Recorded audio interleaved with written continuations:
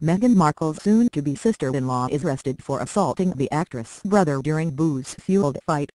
Meghan Markle's future sister-in-law was arrested on New Year's Eve in Oregon after an altercation with Thomas Markle, potentially dashing her brother's hopes to attend the royal wedding in May. A law enforcement source with the Josephine County Jail told Daily Mail. Com that Tom's fiancée Darlene Blount was booked on January 1. She was charged with fourth-degree assault.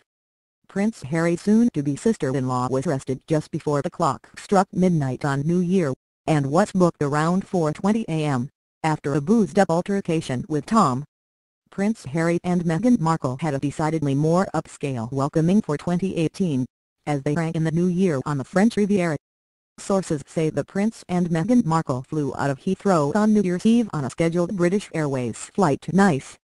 In an attempt to remain incognito, the pair boarded their 9.55 am flight before any other passengers and headed straight to the back of the plane next to the rear toilets. They also took up three rows of economy seats on both sides of the aisle, even though there were only themselves and three edgy and nervous bodyguards in their party.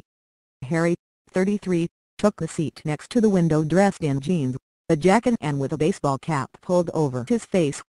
Meghan's brother Tom spoke to Daily Mail. Com just days before the new year began. Before ringing in the new year on a sour note, Tom spent his Christmas at home in Grants Pass with Blount, 37, and her 7-year-old son. He has not seen or spoken to his 36-year-old half-sister since 2011 but says he and Meghan are not estranged but lost touch after she moved to Toronto, Canada, to take up a role in Suits.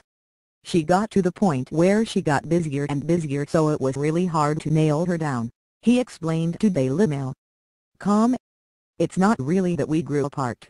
It was she was out there in Toronto doing her job, it was the biggest deal she got on TV so she had no time. But we spent a lot of weekends together with our grandmother Doris Markle before she left. He is now hoping that the Markle clan will one day be reunited for Christmas and says that while he doesn't expect an invitation to Meghan and Harry's May wedding, it would mean a lot to get one. The 51-year-old, who was arrested himself last January for putting the gun to his fiancée's head, was released without charge, added, I don't know if she gets to invite who she wants. But she'll reach out if she wants me there. She'll call me. She knows where to find me. But that's up to her. There's no pressure. I wouldn't mind seeing my little sister have the biggest wedding in the world. That would be incredible. Of course it would mean a lot. I didn't go to her last one in Jamaica. I was working or something. But if my dad doesn't walk her down the aisle, then I will.